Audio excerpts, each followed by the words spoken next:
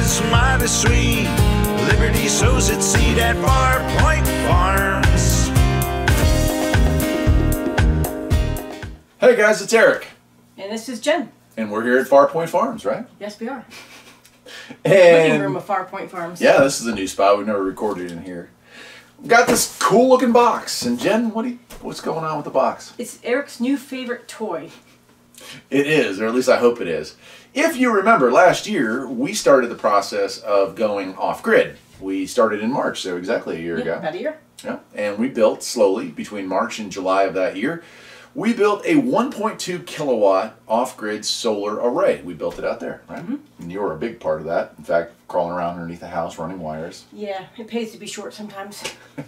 So anyway, there are a couple of things you just can't do with the kind of solar power that we have right now. And what is one of those things? One of it is laundry. Yeah. Even though we have high efficiency washer and dryer, it is high efficiency in the sense that it uses less water. Water is not our issue. We run off of a spring here, so water is abundant and doesn't cost anything to supply the house with. Correct.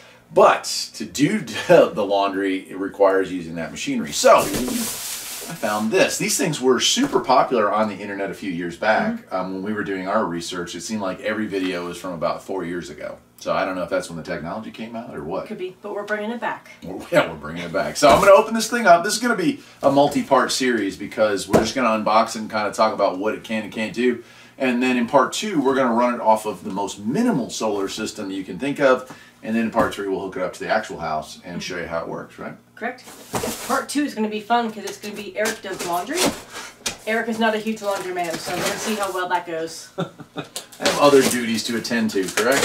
Sure. All right, let's see here. I don't even really remember the brand of this thing, but I don't either. Yeah, let me stand up and pull it out of the box here. Wow, it actually takes up the doesn't it? I slide that out of the way. So here it is, out of the box, and It's very, very compact, yep, which is perfect because uh, we decided that we want to take it camping with us or something. It's not going to take up a whole lot of space. yeah. In doing research on this, there are several different groups of people who would want to purchase something like this. People who live in an apartment complex but don't want to have to pay the quarters that it takes, or do the walking back and forth to get your clothes washed. People who have tiny homes and can't doesn't have the space to do like a full size washer and dryer. and uh, certainly RVs camping. So if you had a small RV or even a like a, a van camper, this would be something you could slap in there and run it off of.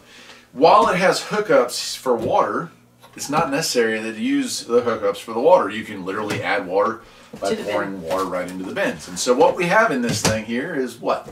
We've got the wash timer right here, so you can kind of set it to how you need. Um, I don't know if you can pick up that noise, but you can kind of hear it counting down. Um, we've got the different size loads that you want, as far as standard agitation, soft, which would be like your delicates, and then they've got the drain feature right here. And then this one is going to be your spin timer, so you can go ahead and try to get all that water out of the uh, the laundry for you. It's not really a dryer; it just takes the moisture out of it. So when you do hang it dry, it, it won't take very long to dry it up. Right, so that was kind of interesting. So the big issue with conventional oops, conventional dryers is that they require a ton of heat as well as the motor to spin everything up. This unit and units like it operate off of just high speed spinner. And there's a spinner here. You put this little flap down in here, and again in part two we'll actually run this thing, but you put the flap down in there to keep the water from spraying up the top, and it just sprays it out the side, it runs out the drain, and that dries the clothes, from what we read, uh, pretty well. About 80% of it will be dry. Yeah, and of course we have clotheslines here on the property, so that would finish drying it up, so we could do laundry in a relatively short amount of time. Now that's small. You know, you're not talking about running a full load of laundry. You're talking about running maybe two or three outfits at a time, right? But if you're in that situation where you need it, I know like um, a couple years ago we had a really bad windstorm. Um, and even if I can just wash like um, socks, underwear, the you know the essentials, I can I can definitely work with that. So definitely for an emergency. So that's it. What model number is this thing? It just says washing machine. It's an XYJ001. It doesn't have a brand on it. Nope. So when we do the next one, we'll get that brand and we'll we'll put it in the description. Yeah, and I'll leave a link on the Amazon spot that we got it for. There's a lot of these out there under a lot of different brands. This one was probably one of the least expensive ones available. They all seem to look and I'm sure function pretty much Very the same. similar. Yeah. So I think they're just kind of rebranded over and over again, but it's cool. I'll turn it around. You can see the back real quick. Mm-hmm. Um, you have just your standard 120 plug, and then you have you've your got your hose for your drain. And if you want to fill it, there's a hose on top to fill it with. Uh, you know, like some of the video I watched was a girl had it in a bathtub which might be where we film part two for all I know. So we might do it that way. But I'm kind of curious to see how well it cleans. One thing that's going to be different for us is we can't use the, the dishwasher or the washing machine fluid. No, the laundry machine fluid that we usually use. The soap. No, no, we can. No, um, I thought you said we couldn't. No, that was in ours. So this one you can use. I think it's going to recommend that you use HE, which just means it has less suds. Um, so that's what our regular washing machine uses.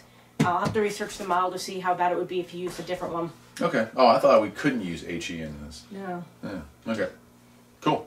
All right. Well, so that's it. I hope you've enjoyed it. This is Jen making one of her first videos as the cats destroy the house behind us.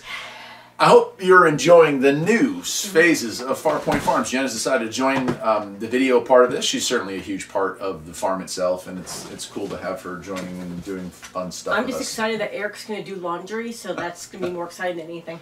Sweet. Yeah. So we'll see if this will run off the GearTist power pack that I have. That is literally a 300 watt inverter and a 300 watt amp, and and So I, it'll be close to see whether or not it has enough juice to power this. Yeah, this one said 280 watts, so it's right at the limit. But it'd be interesting to see if one single solar panel and one seven pound all in one power pack can get you some laundry done when the power goes out.